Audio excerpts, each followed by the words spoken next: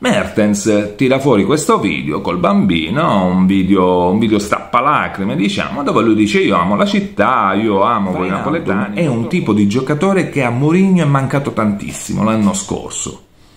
Perché cercano l'attaccante, questa è la nuova. Mm, c'è questo nuovo sapore nel calciomercato. Perché dico questo?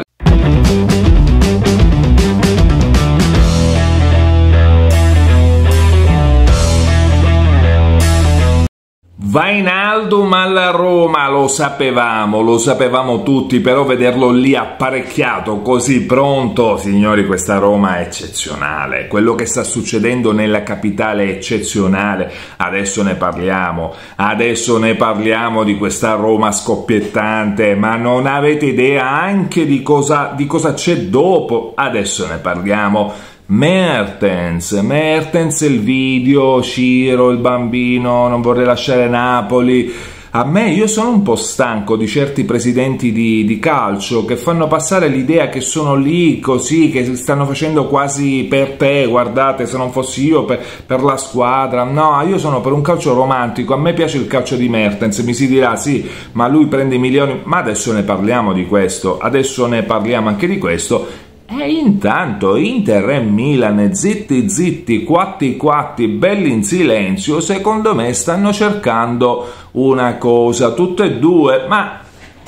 Allora, Mettetevi comodi, innanzitutto sapete c'è questa nuova rubrica la risposta, io faccio il video la mattina, questo video, voi mettete le domande, fate una bella domanda corte, mi raccomando corte le domande e io rispondo durante il pomeriggio, quindi del pomeriggio vi vedete la vostra eh, domanda bella messa lì nel video, è un'interazione fra me e la mia community, mi piace farla e vi sta piacendo anche a voi, quindi bella, bene così, andiamo avanti così, mettete le domande se volete like, quello no se volete, mettete un mi piace, mettete un mi piace, aiutate il canale, quindi mettete un mi piace, non vi costa niente, mettete lì con, col ditino, col pollicino, like, un like, un fiore, un fiore, un desiderio, vi ricordo che se mettete un like esprimete un desiderio, quel desiderio si avvera, questa è una cosa che dicevo tempo fa, Seguitemi su Instagram DiegoCTN08, è lì che metto tutti gli aggiornamenti. Ovviamente se non siete iscritti iscrivetevi, io ho il 60-70% di persone che viene qua a vedere ogni giorno i miei video non sono iscritti. Iscrivetevi perché ormai sono tante le rubriche, ne stanno venendo di più, sta arrivando anche un PC nuovo. Insomma,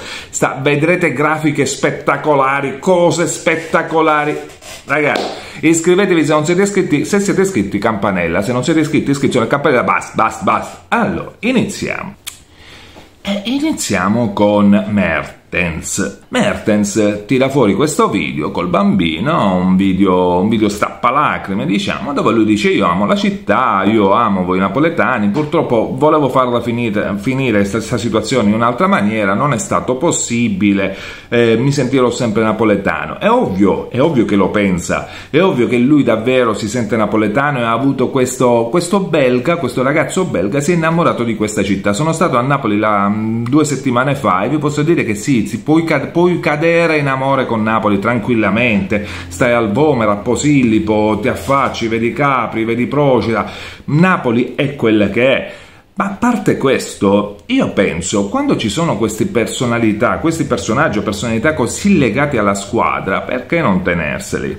Perché non tenerseli? E qua viene la figura di De Laurentiis, che a me sinceramente come persona non lo conosco, ma come presidente del Napoli a me non piace questo, eh, mi sa di... Eh, c'è molta autorità, va bene, avere, avere autorità va bene, però secondo me...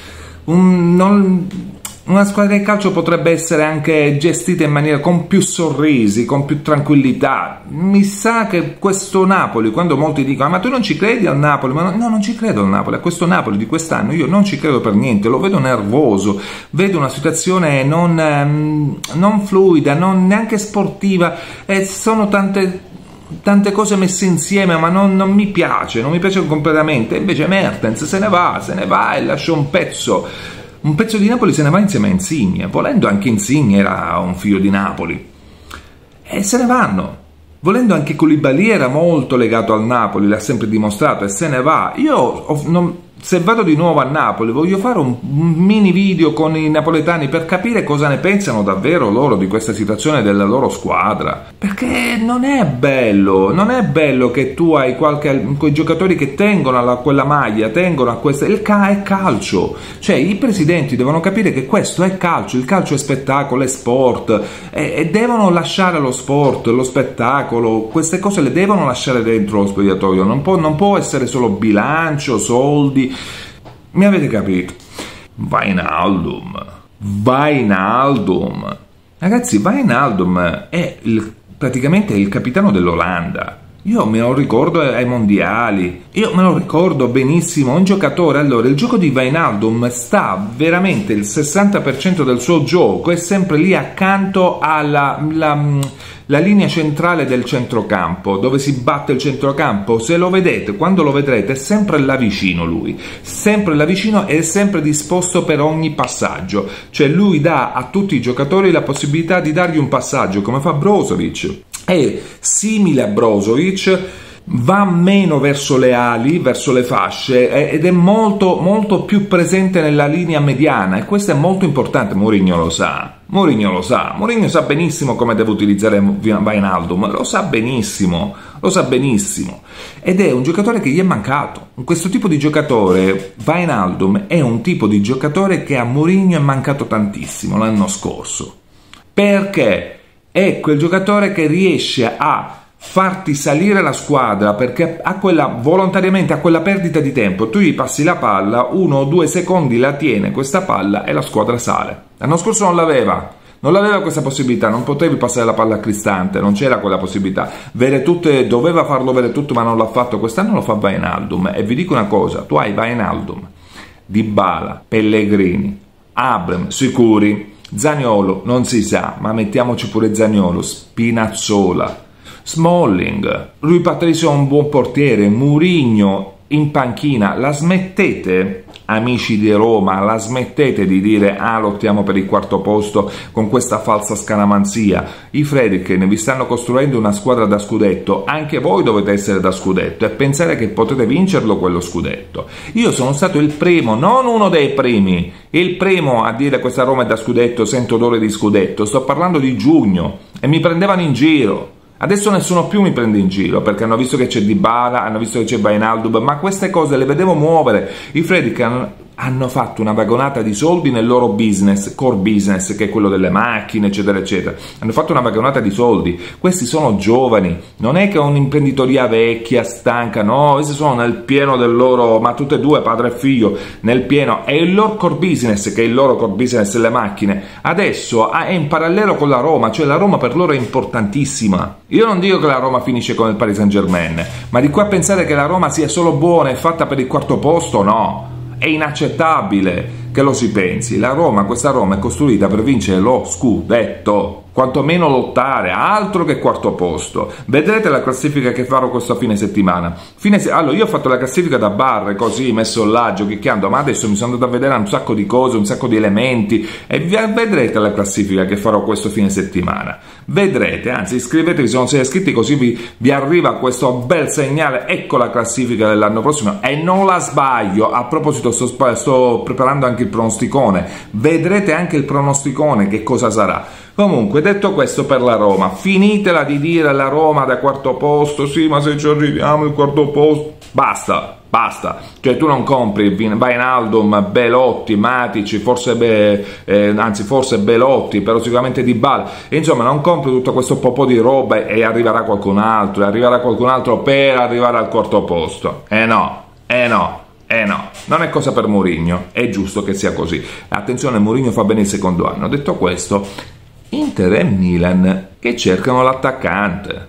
Inter e Milan che cercano l'attaccante. Questa è la nuova. Mm, c'è questo nuovo sapore nel calciomercato. Perché dico questo? All'Inter è rimasto Lukaku, va bene, Lautaro, va bene, Zeco, va bene, Correa, va bene. Lo sanno, Inzaghi lo sa. Inzaghi sa benissimo che solo con Lukaku e Lautaro fa, non può fare, ci vuole qualcos'altro. Secondo me l'Inter punterà su qualche giocatore inespresso sui 25 anni o giovane sui 20 anni. che può fare davvero la differenza? Perché su Correa io personalmente Correa non ci credo che possa fare 20 gol. Zeco ormai il suo l'ha dato e ci vuole un quinto giocatore. La stessa cosa su per giù è per il Milan il Milan, zitti zitti, a me ieri mi è stato chiesto nella risposta, questa domanda e risposta che faccio, di Orighi non si parla, e non si, ma io Orighi non l'ho visto. Giroud, vuoi puntare su Giroud? Vuoi puntare su Rebic? Ibrahimovic? Vedete, tutte e quattro sono punti interrogativi. Sono punti interrogativi, c'è Leao chiaramente,